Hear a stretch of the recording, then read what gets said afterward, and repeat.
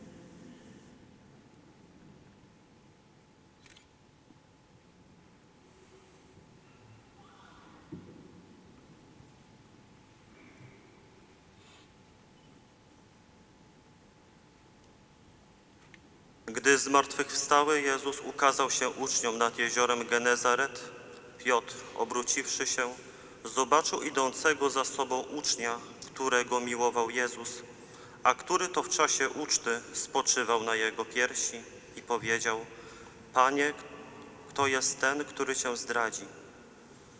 Gdy więc go Piotr ujrzał, rzekł do Jezusa: Panie, a co z tym będzie? Odpowiedział mu Jezus: jeżeli chcę, aby pozostał, aż przyjdę, co tobie do tego? Ty pójdź za mną.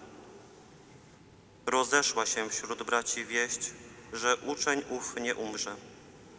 Ale Jezus nie powiedział mu, że nie umrze, lecz jeśli ja chcę, aby pozostał, aż przyjdę, co tobie do tego?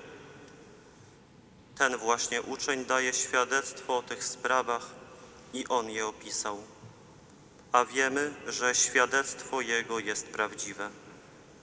Jest ponadto wiele innych rzeczy, których Jezus dokonał, a które, gdyby je szczegółowo opisać, to sądzę, że cały świat nie pomieściłby ksiąg, które by trzeba napisać. Oto słowo Pańskie. Chwała Tobie, Chryste.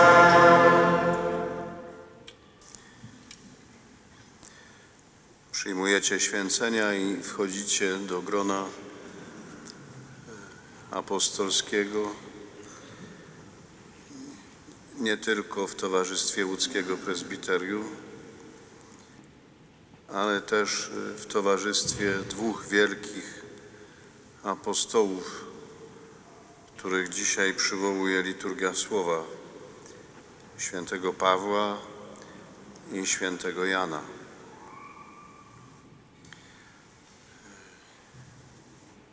Przypatrzmy się przez moment temu, w jaki sposób oni przeżywają swoją misję. Jako pierwszy był pokazany święty Paweł, który dociera do Rzymu. Zakończenie dziejów apostolskich, 28 rozdział Pierwszy raz Paweł wypowiedział takie pragnienie, że chciałby głosić Ewangelię w Rzymie cztery lata wcześniej, kiedy był w Efezie. O tym mówi dziewiętnasty rozdział dziejów.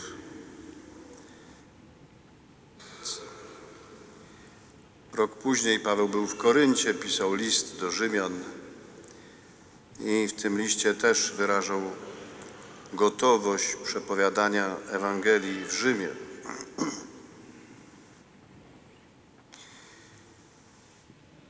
No i po czterech latach Pan Bóg spełnił to pragnienie. ale chyba trochę inaczej niż Paweł sobie to wyobrażał. To znaczy jest w Rzymie jako więzień, może uczyć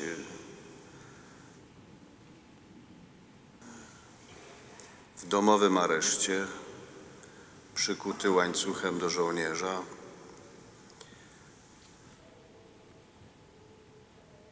No i może uczyć tylko tych, którzy do niego przyjdą.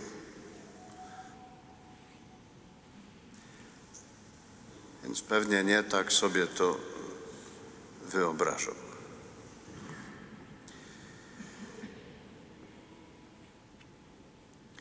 Chcę Wam powiedzieć na początek, że Pan Bóg spełni wszystkie Wasze pragnienia, jakie macie w sercach.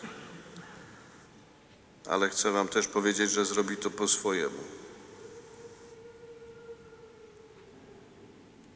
Chcę Wam powiedzieć, że to, że zrobi to po swojemu, to będzie znaczyło, że o wiele lepiej niż byście myśleli i o wiele skuteczniej niż byście potrafili.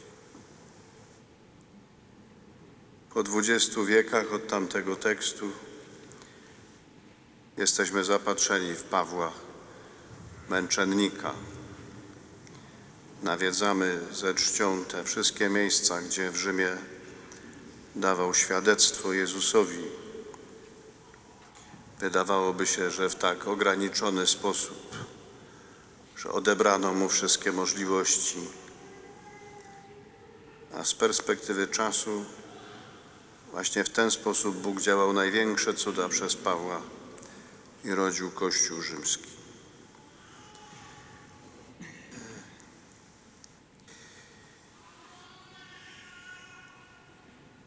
Bardzo ważne są też w tym pierwszym czytaniu dwa słowa, w jakich e, zostaje opisane działanie Pawła, mianowicie, że głosi Królestwo Boże i naucza o Panu Jezusie. Tam, gdzie jest głosi, to jest słowo greckie keryzo. Najpierw to, co Paweł daje przychodzącym do niego ludziom, to jest kerygmat to jest serce ewangelizacji. Kerygmat to nie jest tylko przepowiadanie. Kerygmat to jest wydarzenie. Więc tym wszystkim, którzy do Niego przychodzą, Paweł otwiera wydarzenie, jakim jest Królestwo Boga, królowanie Boga.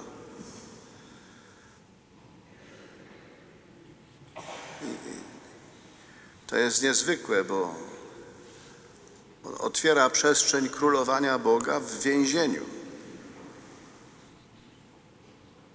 Wydawałoby się, że no nie, to, to jest miejsce, gdzie króluje Cezar. Ci, którzy są przy Pawle, mają doświadczenie otwartego Królestwa Bożego, władzy Boga nad sobą. I to jest to, do czego najpierw zaprasza, do doświadczenia tej władzy Boga nad sobą w każdej sytuacji ludzkiej, jakiejkolwiek. Nie? Do tego możesz zaprosić przede wszystkim e, najpierw pokazując to sobą, zapraszasz w rzeczywistość, w której sam e, żyjesz Możesz być królem, możesz być w królestwie Boga, będąc w więzieniu, możesz doświadczać władzy Boga nad sobą, będąc uwięzionym. I to na przykład wtedy polega choćby na tym, że, że będąc w więzieniu nie potrafisz nienawidzieć, że będąc w więzieniu nie tracisz pokoju ducha. Że będąc w więzieniu zachowujesz sobie pierwotną nadzieję, i że rzeczywiście ogłaszasz ludziom, Bóg jest królem, bo Bóg kocha, Bóg nie ma innej władzy, Bóg nie potrafi inaczej władać jak tylko przez miłość. Nie. To jest to, co musi być pierwsze, jest pierwsze i musi być pierwsze. I dlatego dopiero po owym kerygmacie następuje też czas nauczania o Panu Jezusie. Ogłaszał Królestwo Boże i nauczał o Panu Jezusie, ale właśnie w tej, w tej kolejności.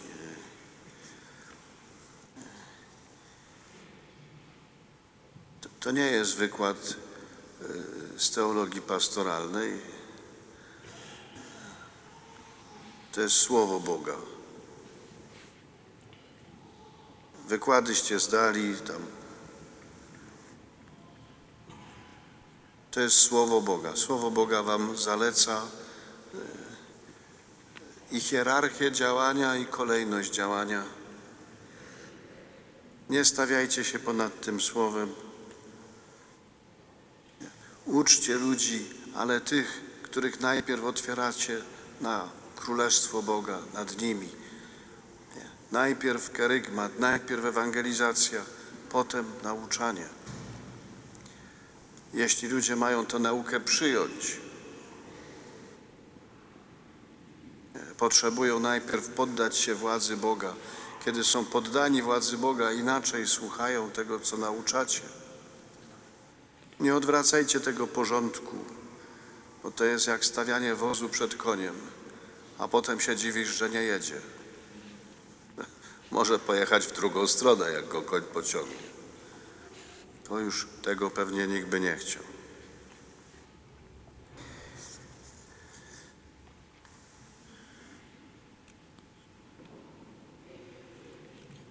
W Ewangelii widzimy Jana.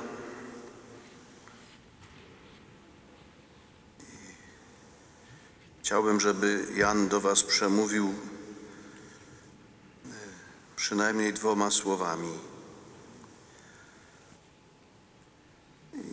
To są obydwa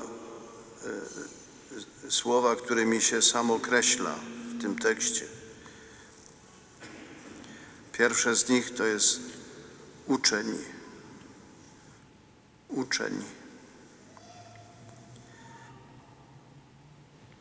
To jest niesłychanie piękne, że pewnie stuletni starzec, bo dobrze wiecie, że Jan pisał tę Ewangelię na koniec, na koniec, na koniec swojego życia.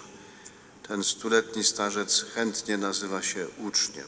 Jak chce o sobie coś powiedzieć, kim jest, to mówi, że jest uczniem.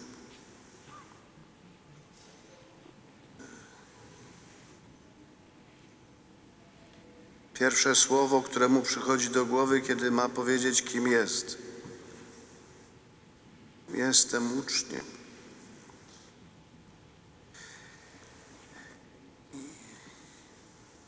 Bardzo Wam życzę, żebyście koło setki w ten sposób o sobie myśleli.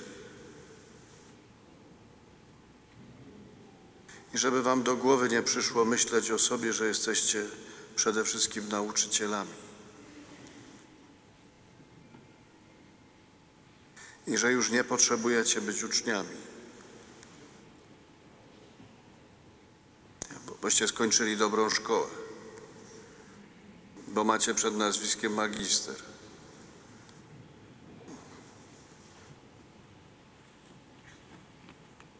To jest ważne, chwała Bogu. Natomiast jeśli te trzy literki przed nazwiskiem przetrącą was wasze uczniostwo, to myślę, że wasi promotorzy powinni wycofać wam promocję. Jak ktoś przestaje być uczniem tylko dlatego, że skończył seminarium, to wierzcie mi, jest strasznym biedakiem.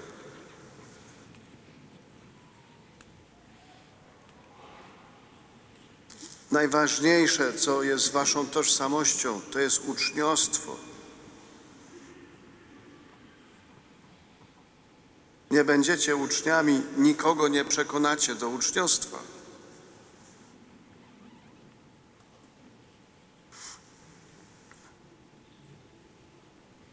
I to, co jest ogromnie ważne w tym rozumieniu uczniostwa, jakie Jan ma w sobie, to to, że to nie jest może nawet przede wszystkim zdobywanie wiedzy, nie? ciąg dalszy studiów. Może któryś pójdzie, będzie robił, daj Boże, doktorat, habilitację, będzie profesorem. Tak. Ale w uczniostwo przede wszystkim jest wpisana relacja. Jan mówi o sobie, jestem uczniem, którego Jezus kocha. Jego uczniostwo nie polega na tym, że przeczyta jeszcze pięć książek, tylko że idzie za mistrzem. I że z mistrzem jest związany, i że ta więź to nie jest nic innego, tylko miłość. I jak mówię Wam, żebyście zostali uczniami do setki, to mówię Wam przede wszystkim o tym. Jakby były takie momenty w Waszym życiu, że się Wam ta relacja rozmywa, że przestałeś widzieć twarz Jezusa, że nie wiesz, jakie ma oczy, że przestajesz Go słyszeć, to sobie zróbcie przerwę.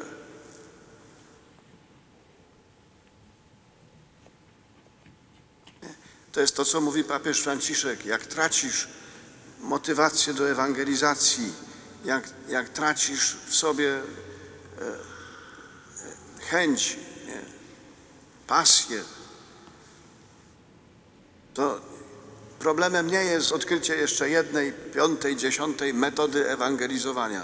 Problemem jest to, że straciłeś relację z Jezusem. Papież mówi: idź do kościoła, wystaw sobie Pana Jezusa i posiedź na adoracji.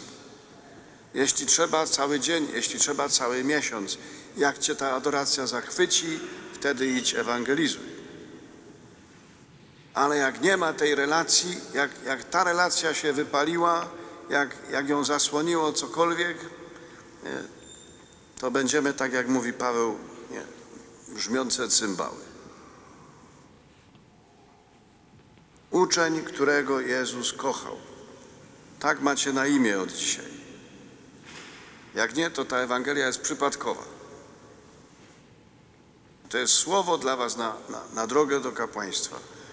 Nie. Uczeń, którego Jezus kocha. I drugie słowo, które e, Jan odnosi do siebie, to jest słowo świadectwo. Ten uczeń daje świadectwo. Wiemy, że świadectwo jego jest prawdziwe.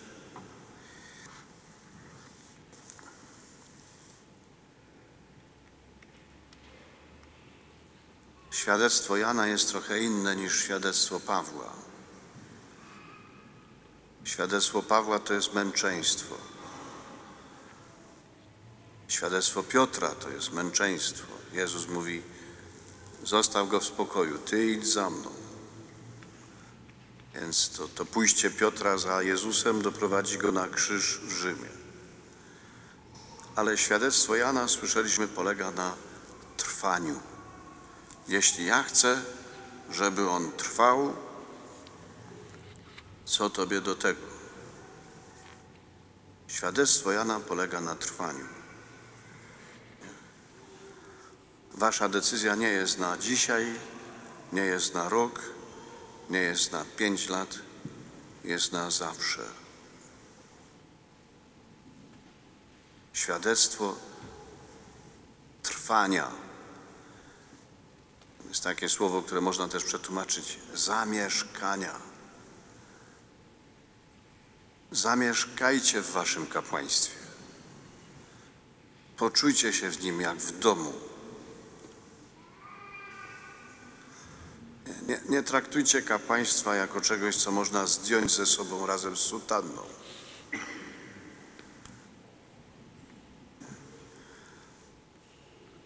Na dwa miesiące wakacji. Teraz nie jestem księdzem. Zdjąłem sutannę. Zamieszkajcie w kapłaństwie. Trwajcie w kapłaństwie. Trwajcie w tym, co go określa. Trwaj w modlitwie, trwaj w Eucharystii, trwaj w spowiadaniu. trwaj w celibacie, trwaj w posłuszeństwie. Znaczy, niech ludzie mają to doświadczenie, spotykając się z wami, doświadczenie właśnie trwałości czegoś, co jest trwałe, a nie jak momencik. Zapalił się i zgasł. Świadectwo Jana to jest świadectwo trwania. To nie jest świadectwo męczeństwa. Wszyscy prosimy Boga, żeby nam oszczędził męczeństwa. Jan Paweł II kiedyś powiedział do młodych, że o to się modlimy, żeby Pan, nam, żeby Pan nas zachował od męczeństwa i, i zapewne zachowa, ale wierności będzie od nas wymagał zawsze. Ale wierności zawsze.